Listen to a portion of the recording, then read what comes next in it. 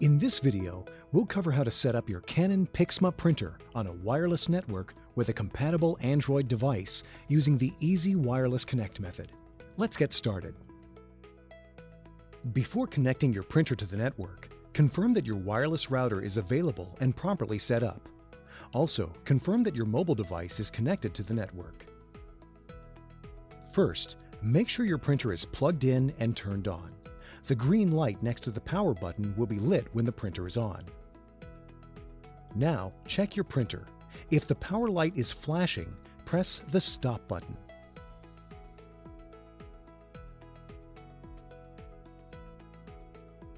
Next, press and hold the direct button until the icon starts to flash. The printer will enter Easy Wireless Connect mode.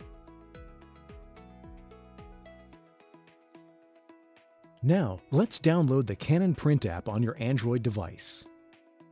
Find and tap the Google Play Store icon. In the search box, type Canon Print.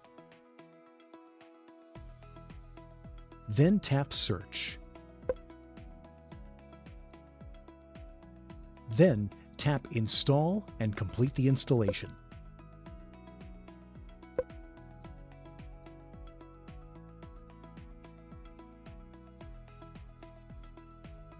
Now, let's open the Canon Print app.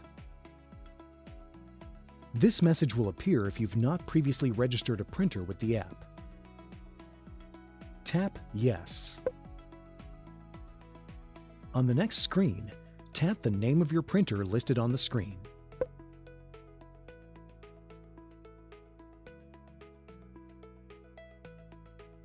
Confirm the name of your wireless router when it appears, and then tap Yes. Enter the password for your wireless router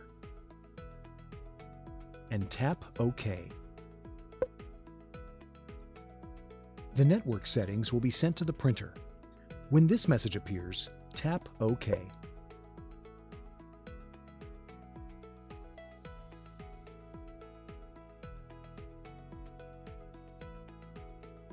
Verify the printer is detected. Tap the name of your printer when it appears. This will select and connect the printer with your device. Tap OK. If you'd like to test print using images from your device, tap Select Images. Congratulations! This completes the setup of your Canon Pixma printer to your Android device using the Easy Wireless Connect method. Now you're ready to print or scan. For help with connecting your printer to a Mac, Windows computer, or an iOS device, please visit our YouTube channel for more videos. Thank you for watching.